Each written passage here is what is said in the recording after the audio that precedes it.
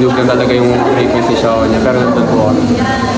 Pero kailangan namin bawas yung turnover. Tsaka kailangan pa namin mag-communicate sa loob ng court. Ah, obviously, yun nga, talo kayo. Pero unti-unti nakikita namin na parang ikaw yung nagiging go-to guy, especially sa match. Ah, ano yung, saan ang gagaling yung ganong mentality mo to take over for Ah, lagi naman sa amin sinasabi ni Coach na stay focused lang sa ginagawa. Ah, yun lang. Kung ano yung binigay sa trabaho ni Coach Ga, gagawin ko. Heading into the season na envision mo na ba na yun yung magiging role mo sa So, kasi nung pre-season pa lang, parang ayun na yung ginagawa niya sa akin. Sa akin niya binibigay kapag crucial game. Ano yung mga nakikita mo parang gu- gusto mo pang i-improve o kaya ayaw mo nang ulitin ng? Yung sa akin po, um, siguro sa akin, kailangan mo improve yung 3 points at saka yung mabawasan yung turnover.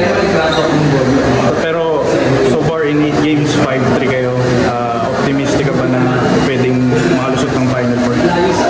Um, opo, kasi ayun naman po plano lahat ng lahat ng, ng team para makapasok sa Final Four. Ayun din yung ano na parang goal namin. Ayun muna bago.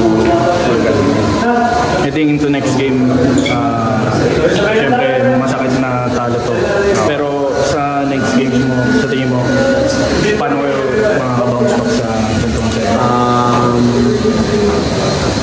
less namin yung turnover tsaka communicate. And defense talaga. Defense talaga.